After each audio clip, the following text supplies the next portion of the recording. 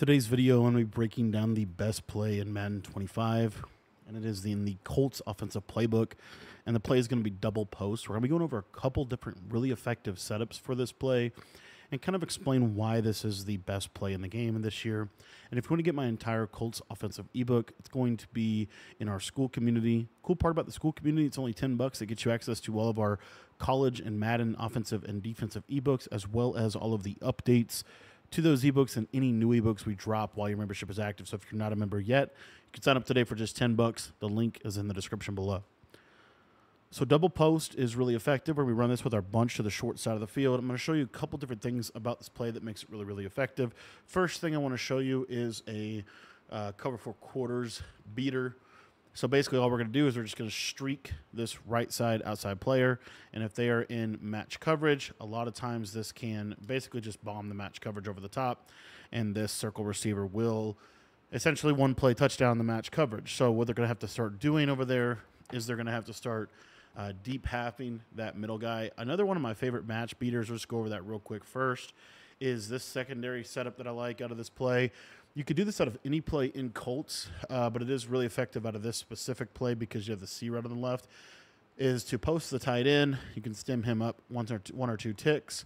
Um, you know, so basically post a tight end. Let's say we stem him up to about 10, 15 yards, streak this outside receiver or the slot receiver, and then corner route the outside receiver and stem him all the way down. So you see this is what the play looks like. If you wanted to create this out of any play, you could then just drag this backside guy. But this is really good against match coverage. A lot of times the R1 in the slot receiver is going to get open for a one play score. So as you see, it's going to be very difficult for your opponent to consistently run match coverage on you uh, with a couple of different plays uh, or a couple of different play setups that we have out of this. So oftentimes you're going to get into man or zone coverages. So if they're running man coverage, one of my favorite ways uh, to set this play up is to simply drag this this uh, slot receiver and just snap the ball. The first read is always as tight end. It's one of the best man beating flat routes in the game. And it's really good because if they shade underneath, which is pretty common this year to see a shaded down man coverage underneath, what you're going to see is that when this tight end cuts upfield, he will beat a shade down man technique. So you see here, shade down, he cuts upfield and he's able to beat that. So the only way they can cover that is by not pressing or not shading underneath. So you'll get a lot more of this, you know, more like a cover one robber uh, or, you know, just basically, you know, shade over top type defense. And so when they start to do stuff like that, then this is where your drag routes, your little underneath crossing routes become super open when they're not uh, getting shaded underneath. So these routes are really good against against man coverage. Now another route that's really good against man coverage is this outside receiver. Now I do have Slay lit up, but it should be for zone coverage specifically. So we'll see if this uh, this post, as I get a double team split from that defensive end or defensive tackle there, was actually kind of crazy. Let me see if I can show this to you again here. And this is shaded down man coverage, so it might actually bag it. That's actually Nolan Smith is going insane. All right, we're gonna have to uh, we're gonna have to spy him and get him out of the play just to show you the route. Practice mode, the sheds are just un- unbelievable and, and just crazy. But you see, when he cuts the inside, a lot of times he beats man. Um, the best man coverage for that route is shaded underneath, shaded down, shaded underneath man coverage. If they shade, let's say they shade outside or you know they shade like over top or anything like that, then you'll see that this post will get a little cleaner separation, nice sharp cut to the middle of field. And this post is also a really effective route against zone. So in this game, you don't really need to use clear out routes to beat zone coverage. So what I like about this play here is it stretches the defense very well horizontally. These underneath drags are super open, but you also have this you also have this post route. And what happens a lot of times is people will basically shade their yellow zones underneath and so or their yellow zone will suck down to the drag, right? If that occurs, then you'll see that this throw can kind of get into a really soft spot against cover 3 and a lot of times this can actually be a touchdown.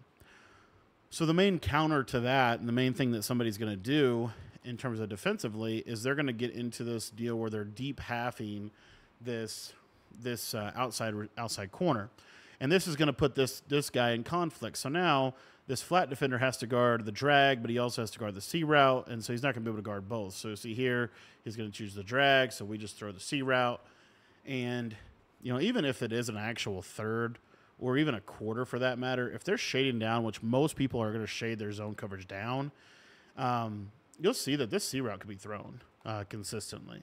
Now, another route that is kind of new to the game this year that is worth discussing is going to be the speed out. So with the speed out, you can put this guy on a hot routed speed out, and then you can stem him to about 15 yards. You see about right here, like about that depth. So this is going to kind of attack the same area of the field as the C route.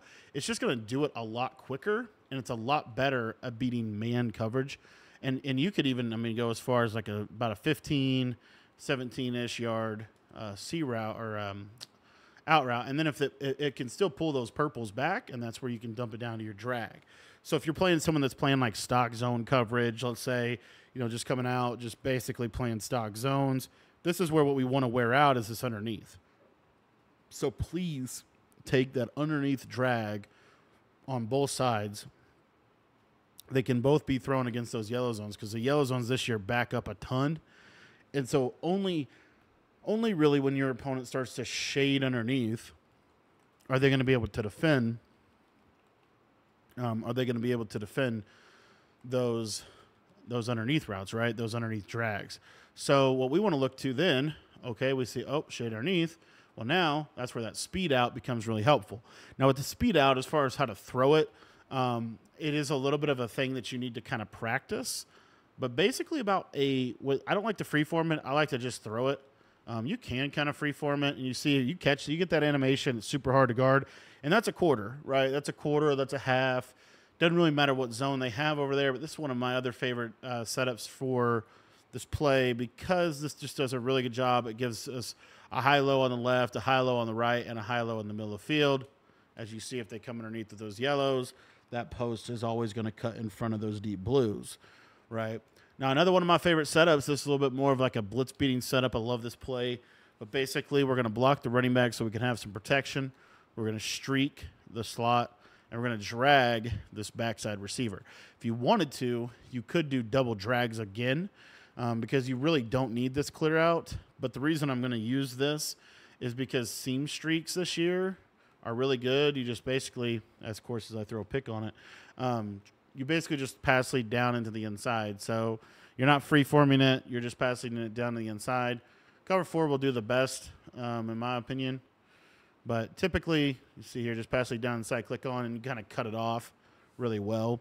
And then the other thing that this does specifically against like a cover four press, base press cover four, or something like that, the um, the post is going to get way over the top of that quarter and you can actually kind of bomb the cover four defense with this as well. So this play, just all in all, does a really good job of beating man, beating zone.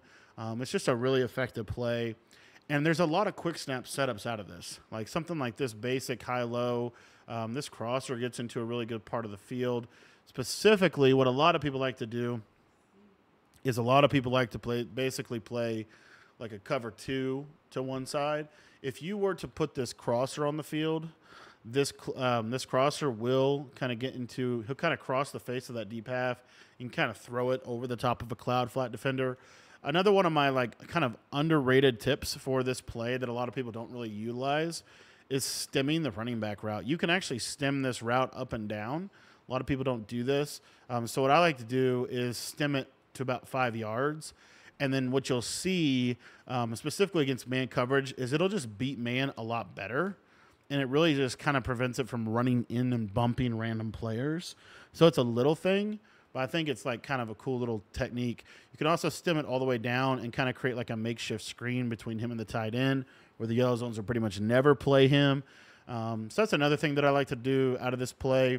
There's just so many things you can do with double post. It's why it's the best play in the game and a super underrated setup is to start motioning this guy out and then kind of getting that high-low read with the C route.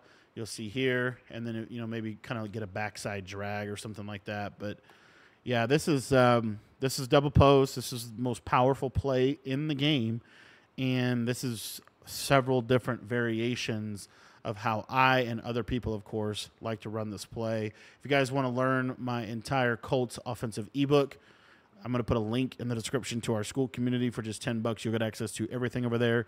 So you can sign up by heading down to the description and clicking the link down below.